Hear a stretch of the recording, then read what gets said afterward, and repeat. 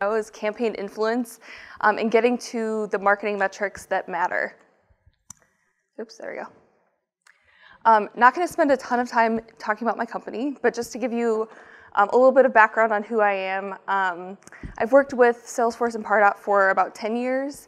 Um, I've worked hands-on in Salesforce since about 2009 um, and Pardot since 2010. Um, I own a company called Sercante and have a blog called The Spot for Pardot but we specialize in helping marketing teams be successful on the Salesforce platform, um, integrating complex processes between Pardot and Salesforce, um, and building out uh, custom solutions using the Pardot API. All right.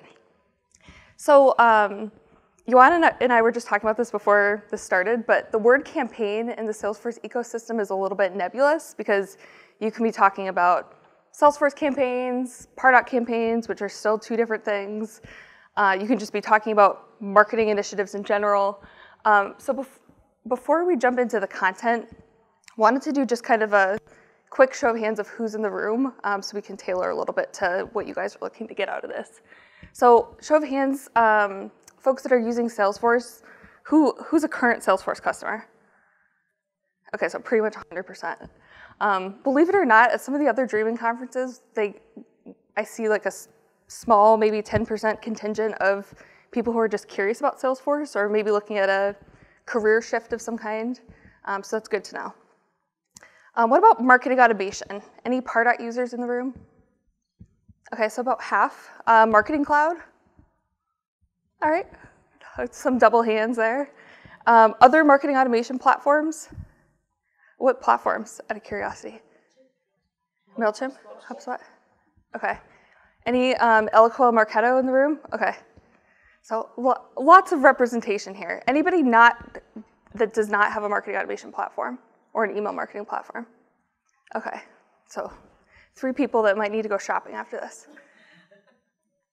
Um, and then in terms of the roles that are represented here, who does marketing automation as their primary job?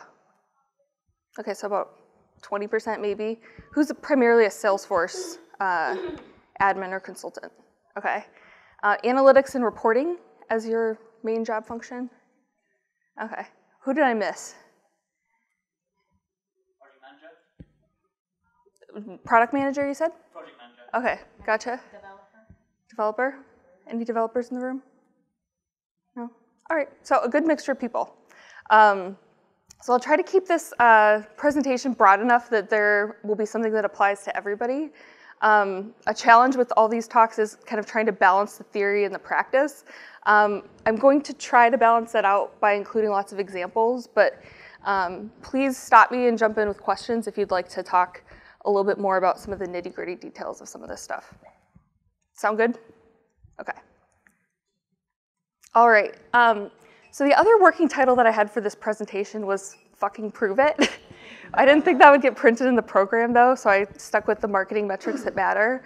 Um, and the reason why this is becoming such a big deal is date, more, more and more data is becoming accessible to managers, senior leaders. They're hearing the pitch from Salesforce that you can have a dashboard in the palm of your hand and Wave, Einstein, or whatever they're calling it at any given point in time that all that data is available to make actionable business decisions. But on the marketing side of the fence, there's still a good portion of marketers that still have this kind of Don Draper era philosophy of half of my dollars, half of my marketing dollars are wasted and there's just never gonna be a way to figure out where that's, where that's all going. Um, but that's not flying anymore. And this continues to become more challenging as the number of uh, potential marketing channels proliferates. So most marketing professionals have, um, they're on all the core social networks, they have a marketing automation platform, they may have a BI tool. Um, and then the challenge becomes how do you connect these disparate systems into one kind of cohesive customer journey and then connect the dots of the data as it flows through all these different, many different platforms. And this is an issue for, for many job functions um, but is particularly pronounced in the world of marketing right now.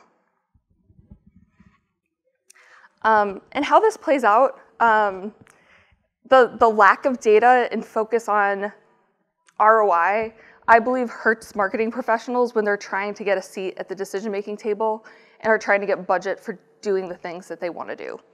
Um, I, I should have put a source on the slide. I think it was Gartner that did this research, uh, but they asked CEOs about their relationship with their the members of their management team and how they felt about different positions on their team. 80% um, of CEOs said that they don't trust their own CMO. That's a pretty harsh number. Uh, the average tenure for CMOs right now is slightly over a year. Um, so it's not working out super well. And by contrast, 90% said that they do trust their CIO and their CFO. So we need to move a little further towards that end of the spectrum. Okay, so the way that I've organized this presentation is basically walking through five strategies for better marketing reporting. Um, as I said, stop me if you want to talk about examples or get a little more into nitty gritty um, of any of these things. But uh, strategy number one, um, starting with the end in mind. So looking at, with every marketing initiative that you're doing, asking the question, what is it for and what are you trying to accomplish? Um, these are many of the stats that I've seen um, my marketing team track, my customers track, um, things like visitors, page views, time on site in Google Analytics, social metrics for those platforms, open rate, click-through rate. So there's a lot of things out there that can be measured. But behind kind of those, those metrics, um, thinking a little bit more broadly about like what is the core goal that I'm trying to do with this particular channel. So your goal on Facebook isn't to get likes, it's to build brand awareness and maybe drive traffic to um, a white paper that generates a conversion. So kind of backing it up and looking at what is kind of the macro level goal behind any of the tactics that you're doing um, as part of your program. Um, it's really easy for marketers to get distracted by vanity metrics. So numbers that are that make you feel good about what you're doing, but kind of obscure what the main purpose is that you're trying to achieve. Um, I gave this talk a few weeks ago, and on one of the feedback forms, someone told me that I had too many pictures of Derek Zoolander. I only have two.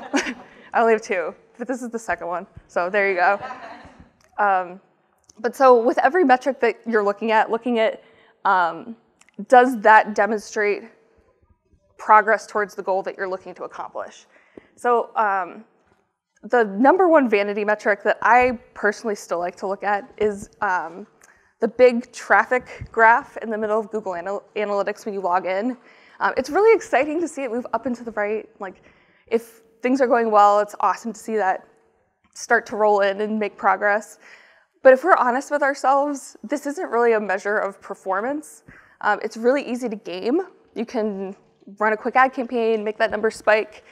Um, and at the end of the day, eyeballs on the website is not the number one thing that we're after. So an example of kind of how this comes into play, um, so we were running a campaign for one of our customers, um, Facebook, Facebook versus LinkedIn. Um, Facebook ads were trending around 43 cents per click. Uh, we got 232 clicks, uh, really solid click-through rate on some of our ads. Um, LinkedIn, on the other hand, we had less kind of top of the funnel results with. So really expensive. Has anybody done LinkedIn ad advertising here? It's so expensive. Uh, we're seeing between five and $15 a click for many of the campaigns that we're managing. Um, only 19 clicks on this one, so uh, not, not the best click-through rate we've ever delivered. So if you look at these metrics alone, which campaign performed better? Yeah, so looking at these, Facebook is the clear winner. But then looking at like what the next step in the process is, so the event registration page that we're driving people to, looking at what actually like resulted in conversions, um, that Facebook number made us feel really good, like 232 visits. It's pretty solid.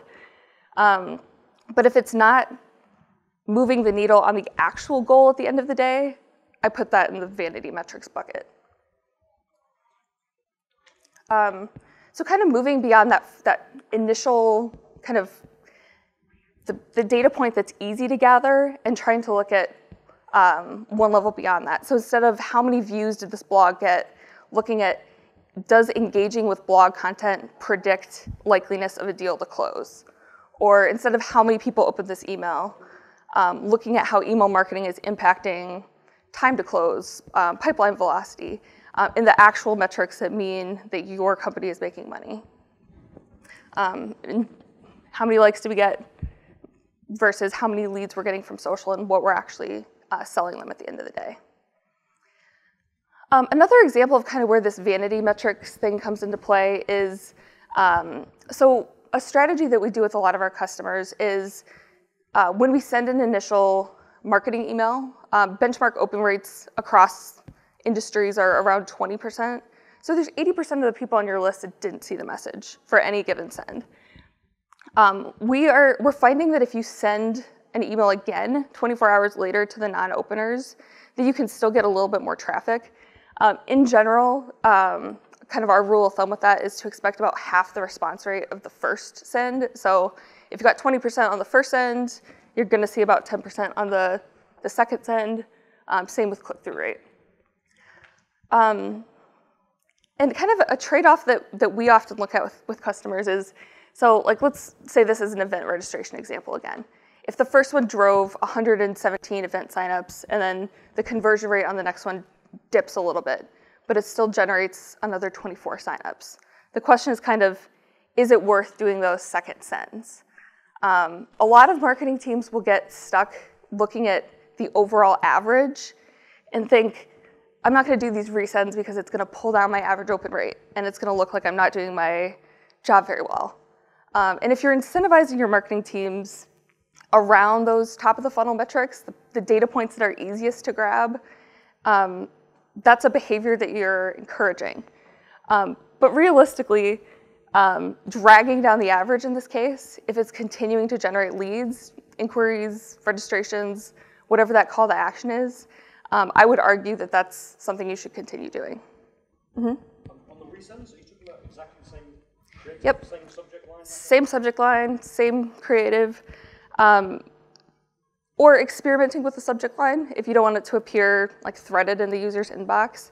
Um, MailChimp has done side-by-side studies of both, so resending with the exact same subject line and resending with it slightly different. Um, the exact same subject line performs a tiny bit better, um, but st statistically significant single digits. Uh-huh. With these stats?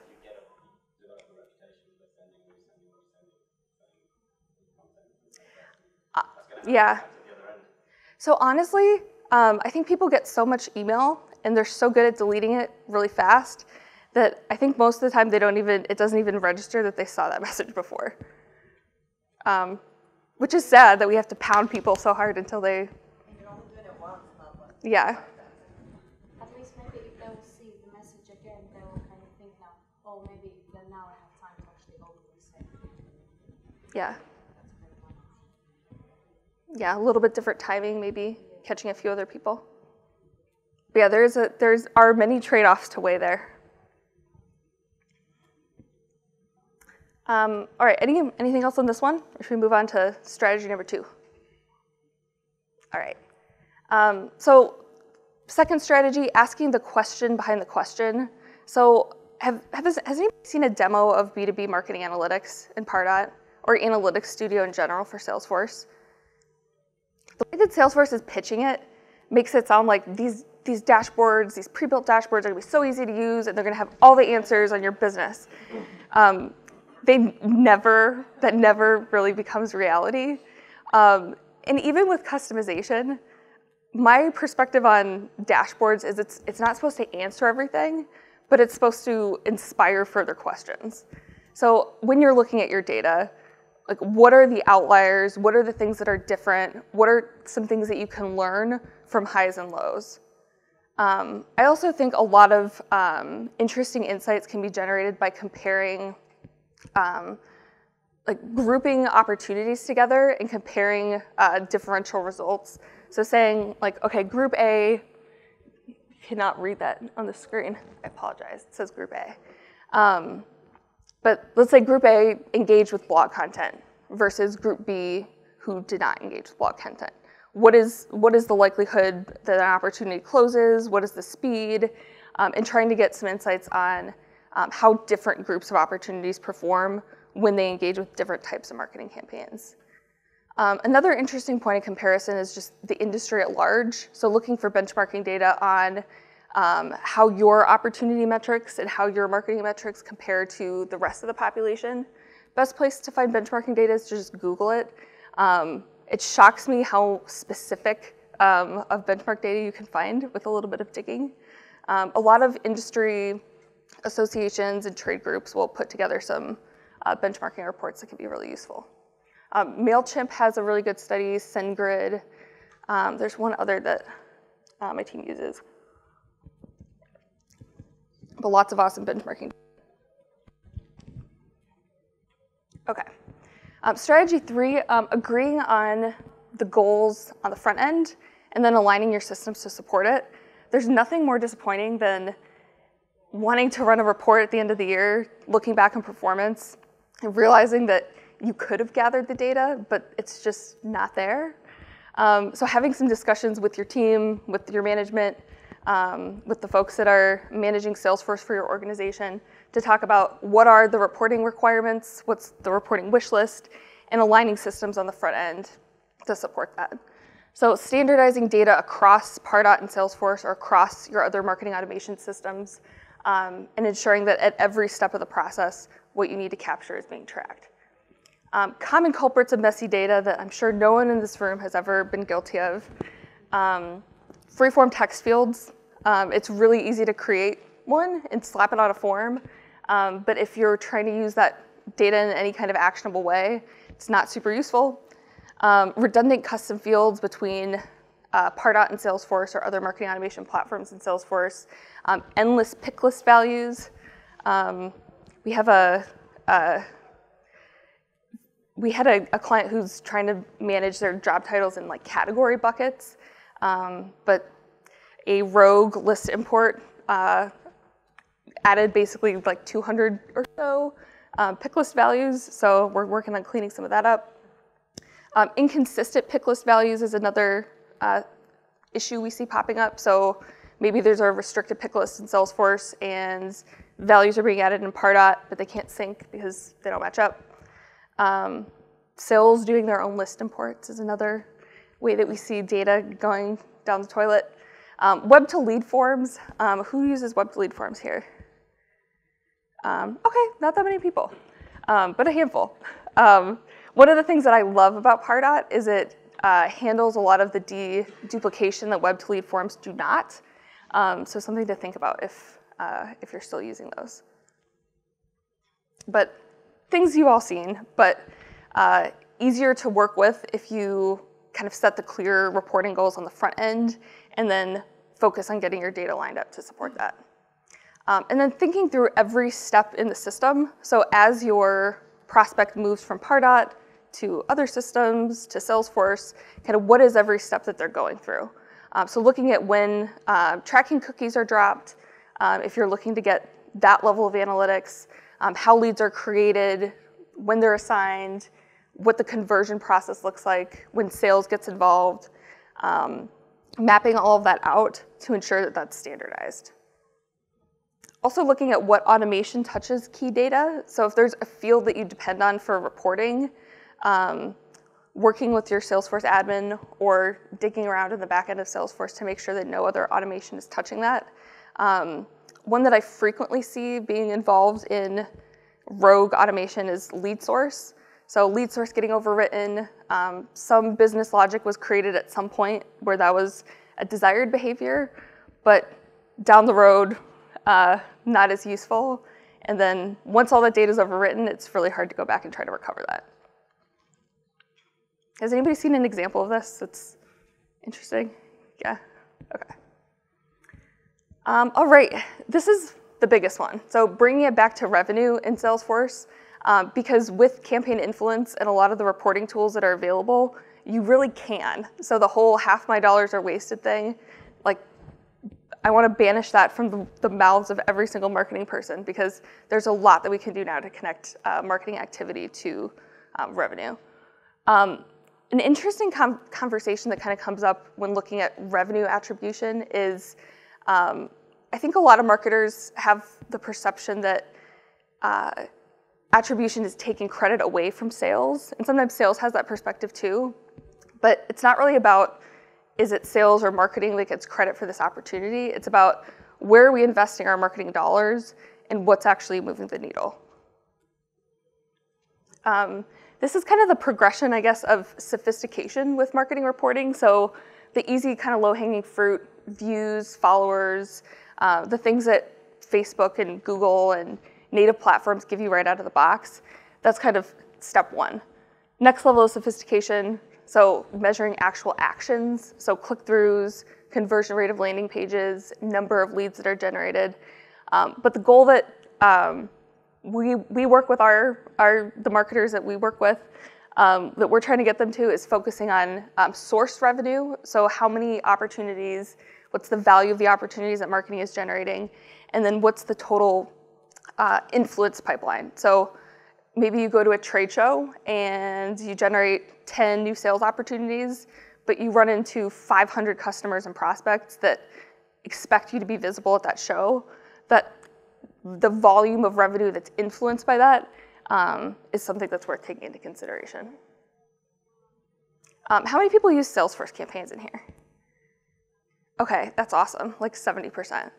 Um, we're seeing, I'd say probably 20% of the existing Salesforce customers that we start working with are using Salesforce campaigns at all, um, and about 10% using them in a coherent, useful way. Uh, so I'm gonna skip through some of this detail because it, uh, it sounds like most of us are pretty familiar with this. But I think campaigns are the most underutilized object in Salesforce. Um, the, the word campaign, I think, can be a hangup. So the substitute word that we use is initiative. So any marketing, sales, or internal initiative that you want to be able to link back to revenue. Um, we've also seen people track customer service initiatives as campaigns, um, which getting into kind of the influenced revenue territory um, can be a really interesting thing to try to measure. Um, so the way that campaigns link um, initiatives to revenue, um, so on the left here, if marketing is tracking their campaigns um, in a coherent way, uploading it to Salesforce. Um, you could create campaigns for things like events, webinars, um, Google AdWords, uh, paid search, any of the different marketing channels that you're using on an ongoing basis. And then obviously sales, sales if they're doing their job, is logging and closing opportunities. Um, the way that Salesforce looks at this um, is putting the contact at the center of that to try to link those two sets of data together. So adding sales adding contacts to opportunities as contact roles to indicate this person was involved in this deal. Um, and then on the other side, marketing working with the campaign member relationship and saying this contact or lead in Salesforce um, belong to these marketing initiatives. And those two data links are kind of the secret sauce to getting to being able to connect the dots all the way from this is what happened on the marketing side of the house, and this is what actually led to closed won revenue. It looks so simple on a picture like this, um, but in reality, we see um, like inconsistent behavior with creating campaign member records. So maybe some forms are creating them, some aren't. Um, and then getting sales to add contact roles is um, can be an exercise in pulling teeth if they're not already doing that as part of their day-to-day workflow. I'm seeing some heads nodding, um, some arm wrestling going on with sales over that, I'm sure. Um, let's skip that one. Uh, but then the reporting that we can get to at the end of the day, if those data relationships are in place. So when an opportunity is closed, being able to say, these are each of the campaign touch points that influence this opportunity over its lifespan. So you can set your influence window, so X number of days before an opportunity was opened, um, all the way till the opportunity was closed. Um, this is a, a, condo rental company that we work with in Georgia called uh, Escape to Blue Ridge. They all of their cabins have like bear puns or like this one's called decking around. Um, but we wanted to be able to track um, so of all the email marketing that we're doing, which ones are more correlated with people actually going and renting a cabin. Um, the other view, so from the campaign, being able to look at um, these are the influence opportunities, and these are the things that this uh, campaign actually sourced. Um, and then kind of the, the next level of sophistication is starting to get into attribution. So Pardot, um, Pardot customers have access to four default attribution models. Um, so sales, the Salesforce model um, or the primary source model, uh, first touch, last touch, and even touch distribution. Um, if you are not a Pardot customer, you can still set those up. It just requires a little, um, a little, a few extra hoops to jump through. Um, and B2B marketing analytics is a Pardot bolt-on um, that lets you explore your data in a more interactive way. It's basically a partitioned version of Analytics Studio um, that's focused primarily on marketing data with some pre-built dashboards. Um, one of my pet peeves right now, um, I don't know if I should say this while this is being recorded, but I'm gonna go for it. Um, is a lot of Salesforce account executives have the perspective that you need B2B marketing analytics to be able to do campaign influence reporting, and that is just not accurate. Um, campaign influence reporting takes place in Salesforce, and all that data is in Salesforce and can be used in a native Salesforce dashboard. So, um, pro tip if anybody's if anybody's getting pitched on that currently by Salesforce. um, can show of hands on the Pardot users again? Okay, so we're roughly half. I'm not going to spend too much time on this since it doesn't apply to everybody, but um, connected campaigns are kind of a hot topic in the world of Pardot. Um, so they beca became generally available in June of last year. Um, but historically, Pardot campaigns and Salesforce campaigns have been 100% separate. So um, Pardot campaigns were used to track the original source of the prospect. So um, the first initiative that basically brought them into your database. Um, whereas Salesforce campaigns operate a little more like the rest of the world thinks about campaigns where you can, it's one to many, you can be included in as many initiatives as your marketing team wants. Um, whereas Pardot was just the first thing that brought them in the door. Um, so with connected campaigns, um, it's basically one campaign to rule them all. So once you turn it on, you can no longer create campaigns within Pardot. Um, they need to be created on the Salesforce side and then they push over to the system. Um, but it opens the door to a lot of new and exciting reporting capabilities. Um, so when uh, Connected Campaigns is enabled, it creates new, it says custom objects here, but they're actually um, new default objects in Salesforce that get turned on for list email, marketing forms, and uh, marketing clicks. Um, they don't show up, there are no reports that like spring to life or anything like that, but you can find them in the data loader and start uh, looking at some things there. Um, and you can also add uh, engagement metrics to your campaign page layouts. So tracking um, number, of, number of form fills, number of opens, number of clicks on emails, um, and surfacing that at the campaign level in Salesforce, which sounds so basic, but we've never been able to do it with Pardot before. Um, I know Marketing Cloud has had some capabilities around that for uh, a bit longer. Um, another great thing about connected campaigns in Pardot is it lets you surface, 10 minutes? Okay. Um, it lets you surface summary level data at the campaign, roll, rolled up to the campaign. So out of the box Pardot, you can see averages across, um, across your entire org, or you can download an Excel spreadsheet and look at things one by one, but there's not an efficient way of trying to group that. Um, but with connected campaigns, if you're linking multiple Pardot assets to the same Salesforce campaign, um, it lets you gather kind of metrics across that whole group. Um, and then having that data in Salesforce means that we can use uh, Salesforce reports and dashboards to touch it. So starting to visualize some of the things that in Pardot we've always had to uh, do in a, an outside reporting system. And then we can use list views and other native Salesforce functionality that, again, seems really simple, but is revolutionary from a, a Pardot perspective. Um, we'll skip over that. Okay, and so then the last, um, the last strategy, strategy number five, um, it's I geek out over this stuff, like getting into the nitty gritty details of connected campaigns and how the campaign influence relationship works. I love playing around with that and looking at different possibilities there. Um, but when it comes to reporting, obviously knowing your audience and who you're reporting to is critical. So um, going back to what we were just talking about with uh, sales and kind of how they view the word attribution. So delicately rolling that out and framing it in a way that um, makes it seem exciting to them and not like marketing is trying to claim that they own 40% of my pipeline. Um, and then another, another kind of reporting trap that I see is um, like somebody saying that they want to report once and then the marketing team creating that for the rest of their lives when whoever requested that report is either gone or stopped looking at it six months ago. Um, so continuing to check in and make sure, making sure that the reporting efforts that you're going through, going through are actually um, being digested on the other end.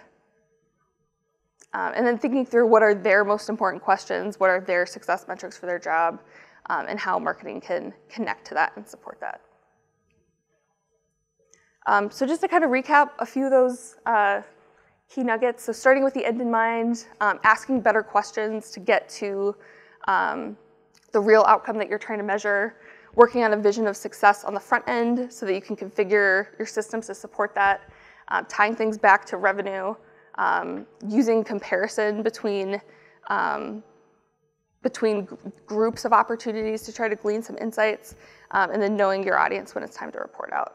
So that's kind of the uh, my campaign spiel in a nutshell, but I uh, want to open it up to questions if, if you guys have any.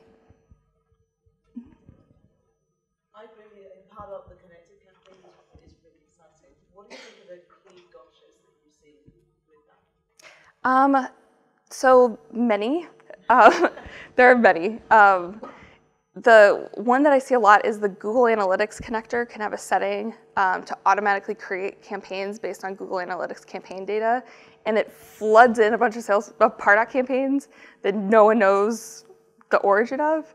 Um, so that's one that we run into a lot. So definitely turn that setting off if you have it. Um, other kind of gotchas, uh, depending on how Salesforce campaigns have been used in the past, you might need to do a little bit of cleanup uh, before that becomes super useful. Um, and you, you'll have to make some decisions about like how much how much of your past data you want to try to connect versus just drawing a line in the sand and saying from here on out this is the new campaign structure that we're following. Um, also, if uh, okay, two others. uh, one other one, if if you have uh, prospects that are linked to an unconnected Pardot campaign, every single time you edit a prospect record, it will force you to update the campaign, which drives me crazy. So um, looking for the campaigns that have the highest number of members um, and updating those. There was one other and I just forgot it, but it'll come back to me, I'm sure. huh?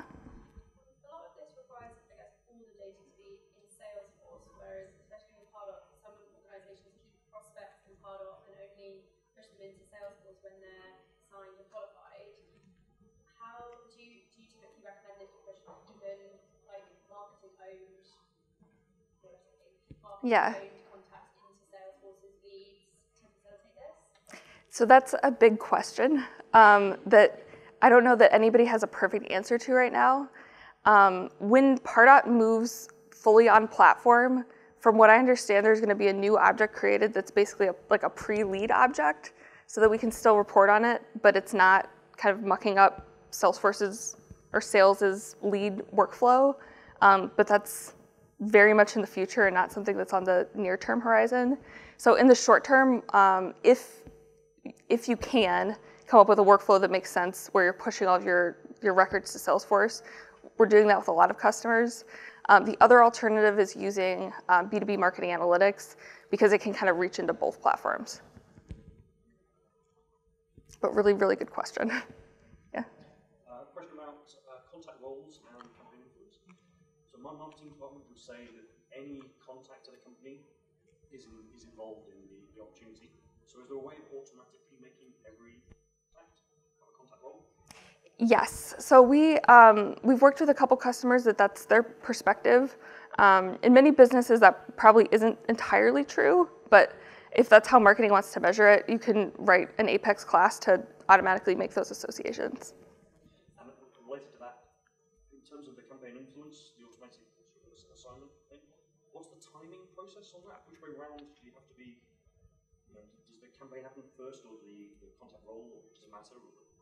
So um, the, when the contact role is added, doesn't really matter. Um, when the person is added to the campaign matters. So when you're configuring campaign influence, you can say um, what that time window looks like. So if you if you consider 90 days to be influential or anything that touched them for the last year to be influential, our kind of rule of thumb for that is like one and a half times the sales cycle, the average sales cycle. So if your sales cycle's a year, looking a year before those opportunities are, were created um, and measuring across the life of the opportunity. Um, if you want to like load past campaign data and start to use campaign influence reporting, you have to do it with backdated um, created dates on the campaign members um, because the system has to be able to look at um, when was this opportunity created, when was this campaign member created to say like did this fit the rules of being in that time window. So time get, does get a little tricky there. But it's X number of days before the opportunity was opened until the, the opportunity itself is closed. Mm-hmm. We've got a number of clients using Salesforce on Pardot. Some have made the full move to Lightning, some are still using Classic. So with regards to connected campaigns, do you, you say you need to be on Lightning to get the, the full benefits? So on the slides, you, you said they add Lightning only underneath to see of metrics. Yeah, so there are two, um, two items that are lightning only that I'll show you really quick. Um, so engagement history, oops. This uh, related list is available only in Lightning. It's basically a cleaner view prospect activity box in Classic. And then also um, these summary metrics, this little Lightning component, that's um, only available in Lightning. But the underlying data for this is available in Classic, so you can show number of email opens, number of email sent, and you could theoretically create a formula field to show the same metric, but this component's only, only available in Lightning.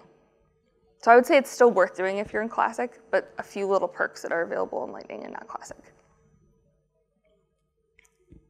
Other questions? Um, I'm not sure if they're posting it somewhere, but if you give me your card, I can send you a copy of this. All right, well, we are, it's 10.09 and I'm supposed to finish at 10.10, so that's pretty darn close.